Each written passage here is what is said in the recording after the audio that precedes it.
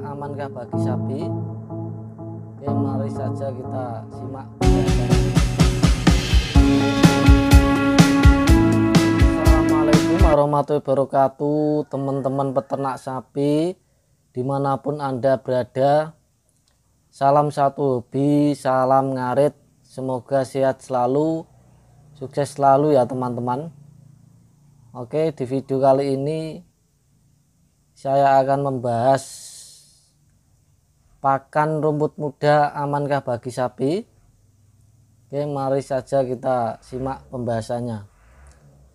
Nah ini adalah rumput muda. E, tadi saya habis ngarit nah ini satu karung.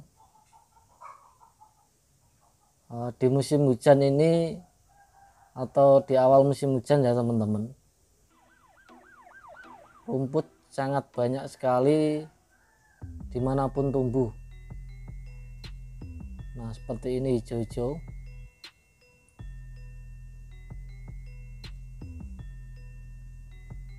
Nah yang jadi pertanyaan adalah eh, amankah pakan rumput muda di saat pancaroba seperti ini? Atau di awal musim hujan Jawabannya adalah seperti ini teman-teman. Uh, berdasarkan pengalaman saya, uh, rumput muda itu tidak berbahaya, asalkan kita tahu cara untuk uh, mengasihkan pakan ini ke sapi. Uh, seperti ini teman-teman tipsnya. Uh, bila kita ngaret nih kita sudah ngaret kita sudah pulang. Nah rumputnya ini jangan langsung dikasihkan ke sapi. Rumput ini diamkan dulu selama 2 jam. Nah supaya uh, rumput ini bisa layu nah kalau sudah layu itu nggak akan berbahaya teman-teman.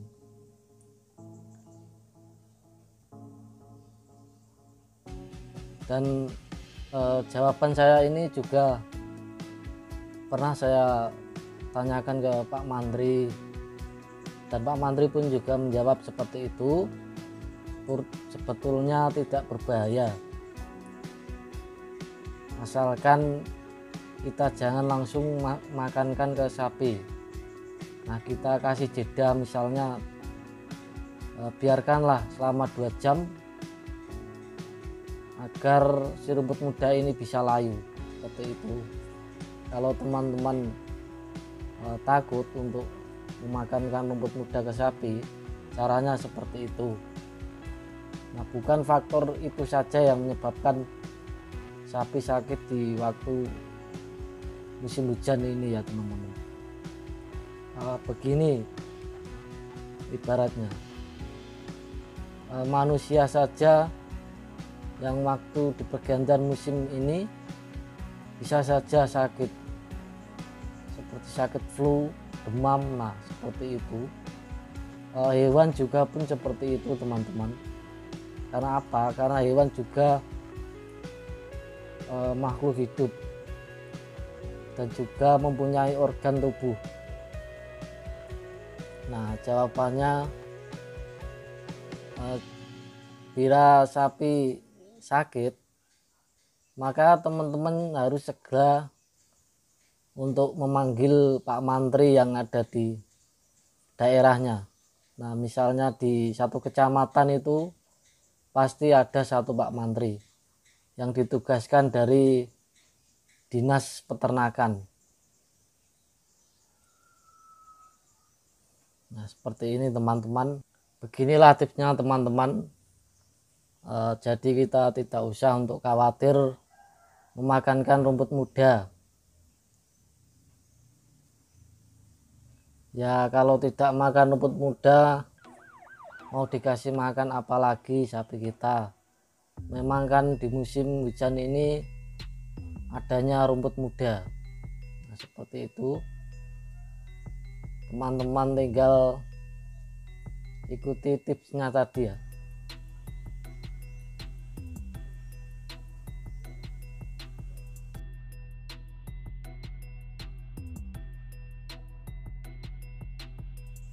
Dan di musim uh, hujan seperti ini itu sapi juga memerlukan banyak vitamin.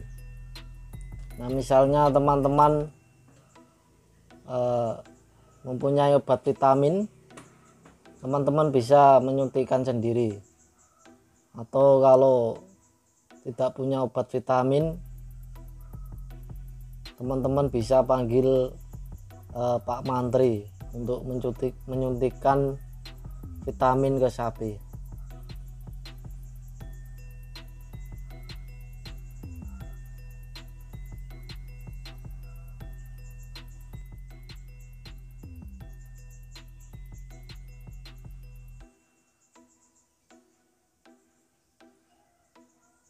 Oke teman-teman uh, terlebih dulu saya akan salam-salam ngaret Salam ngarit buat teman-temanku yang ada di Jawa, Sumatera, Kalimantan, Sulawesi, Papua, NTT, NTB, Bali, Madura.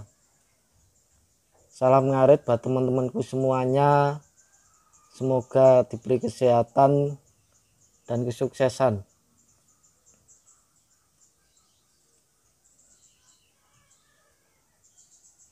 Eh, di daerah kalian pasti sangat banyak ya teman-teman. Mencari rumput di musim sekarang tidaklah susah. Tidak seperti waktu musim kering kemarin. Oke teman-teman.